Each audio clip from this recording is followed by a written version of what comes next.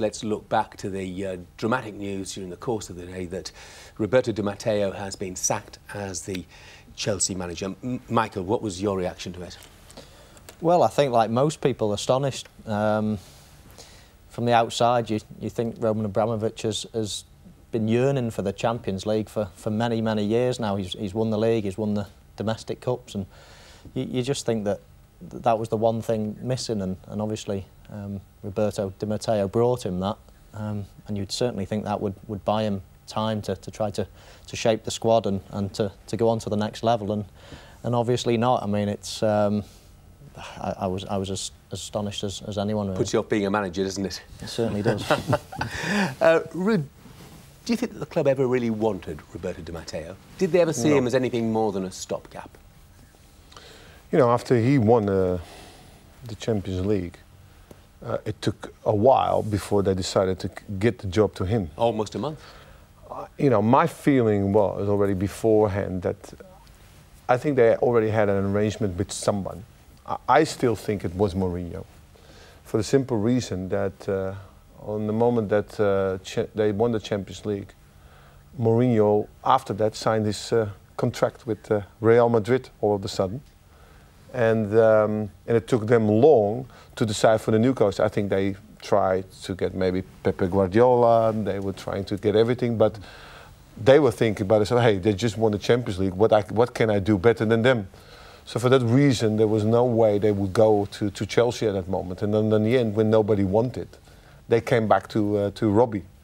And uh, of course, uh, I think he did a great job he didn't want the job in the beginning. He was just an assistant coach that they wanted to, and, uh, you know, to take over, and he done extremely well.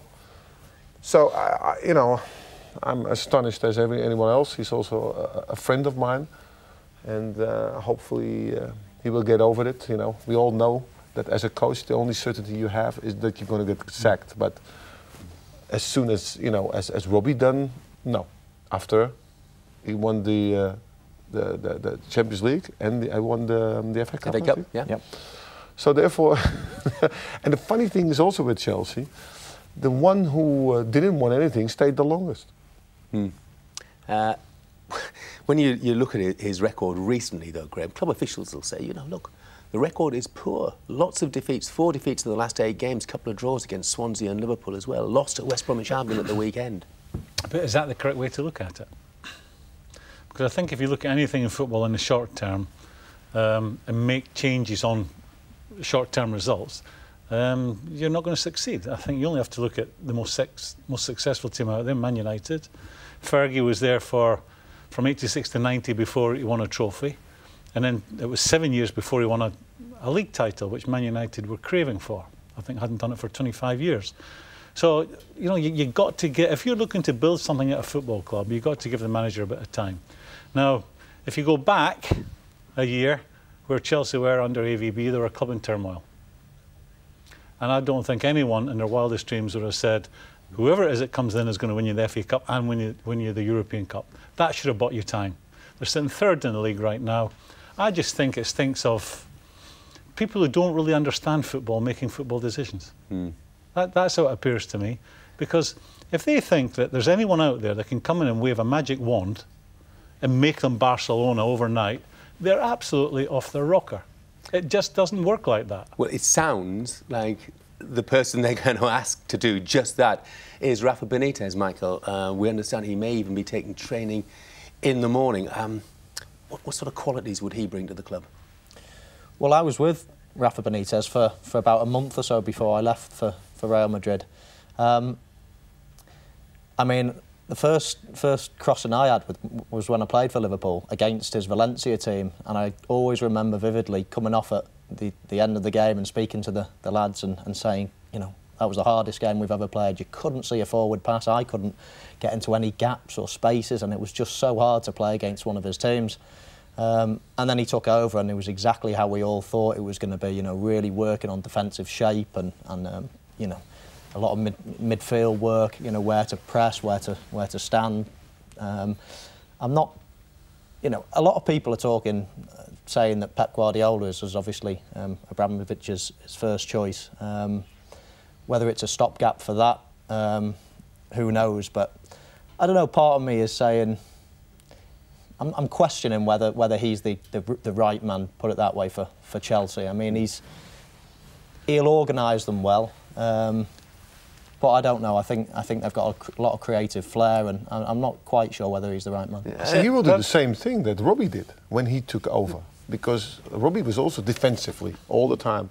It was not pretty, but the, because he came half time, he thought to himself, okay, just do that.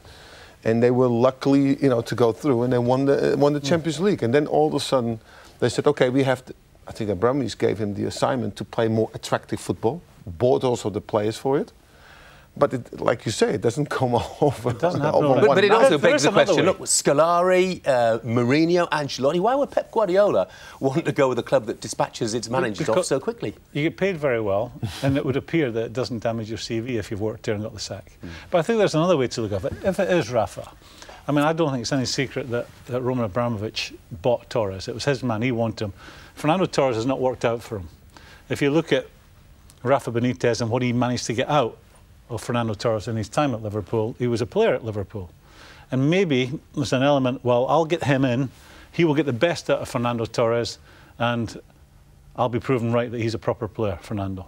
Mm. But I, I just find that amazing. I think you'd have to search long and hard to find a sacking that comes anywhere near this one.